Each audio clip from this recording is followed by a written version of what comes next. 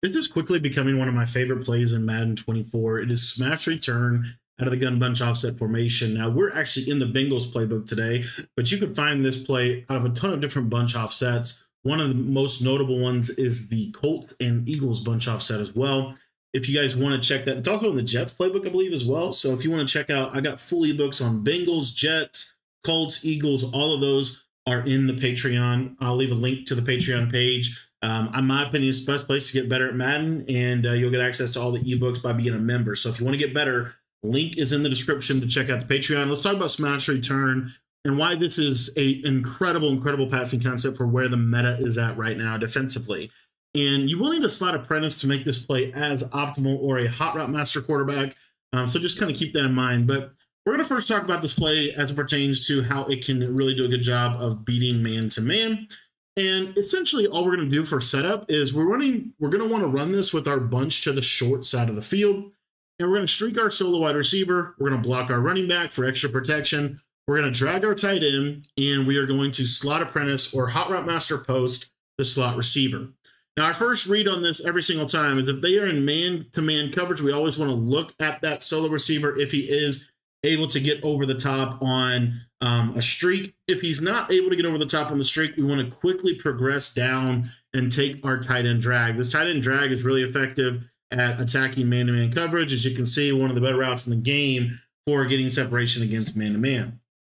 So, one of the things they're going to have to do to kind of stop those couple of concepts is you'll probably see something uh, like what you're seeing right now. We throw a hard flat over there on the right uh, to try to try to counter the tight end drag.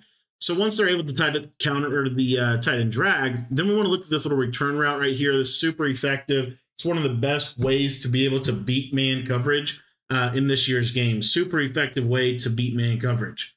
Now the next read on this play is actually going to be the slot apprentice post. So typically the user is going to have to make a choice. Is he going to guard the uh, post or is he going to guard this return route? If he chooses to guard the return route, then this apprentice post is absolutely incredible. I'm getting the best sheds that I've ever gotten ever, no matter regardless of year of Madden, um, mode, talent radar, whatever. Like this is insane. The sheds I'm getting in this game, um, blitzing two people. But anyways, um, hopefully we, I wish we could get that online.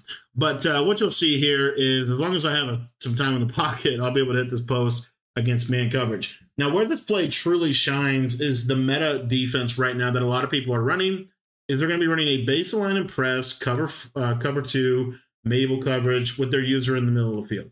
Now, they might put that middle linebacker in a deep blue. They might not. It kind of depends on who you're playing. Okay. But real quick, first and foremost, early, you can hit this drag before he gets across the formation. So when he's kind of more of a, a basic in route. Now, you actually, if you want to, if you're anticipating that they're likely in Mable coverage, you can uh, go ahead and put this tight end on an in route instead of a drag. And what you'll notice is going to happen is it'll slow down how fast he gets across. So you'll be able to throw it like right in this little window and get about 10 to 15 yards against pretty much the most popular defense in the game. Now, a lot of people right now, depending on again who you who you're playing, a lot of people are they're trying to essentially send four. Okay, so this might be a dollar look, and where we're, we're going to try to uh, we're going to try to send four, or even out of four three, even six one. A lot of people are trying to send four.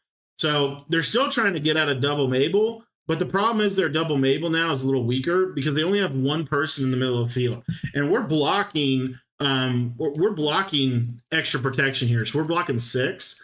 So what you'll see now is middle field is even more open. I can throw that tight end before he gets to that curl flat every single time. Even if that curl flat's on zero, I can throw that tight end consistently. And again, this is a little bit more what you're going to be seeing online in terms of what people are doing. Now, what I think makes this play uh, absolutely incredible is what you're going to see here from the slot apprentice post. When you run the slot apprentice post on this side of the formation, you are going to have a really, really good chance at this uh, this being able to get into a really soft spot against the defense. Let me actually purple this linebacker because my uh, adjustments are kind of weird. I think I'm in a different package or something out of 3-3. Okay. So uh, once this all runs through, take a look at this little return route. See how it kind of like, it just gets in a really soft spot against the zone. And they're going to have to have like basically three yellow zones over the middle of the field to actually truly defend this. Like even if they're able to have this vert hook, if they choose to go user that slot apprentice post, even if they have that guy on a vert hook over there on the on the slot, watch what's going to happen here. I'm going to just be able to wait on this return route to clear that yellow zone and get in, into a really tough spot against the coverage. Now, another thing that is really cool about this play in terms of how it relates to double Mable. So let's say, for example, that they go ahead and they're actually going to use her, they're going to stay underneath, right? They're going to go use her the, the underneath, they're going to use her the tight end, and they're going to go to the return route.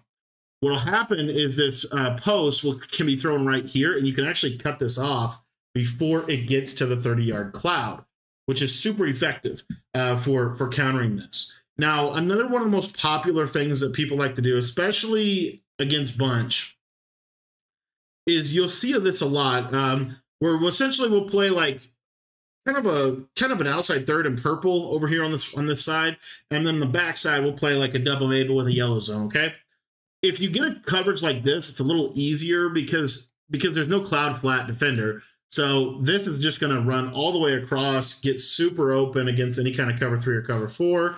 And that's why I love smash return. It beats man, it beats zone coverage. One of the final touches that I would put on this play is you could every now and then, if you want to, put this running back on a little wheel route. If you're worried about man coverage, put this running back on a wheel, motion him across the formation, we know that wheel routes are really effective for beating man to man coverage.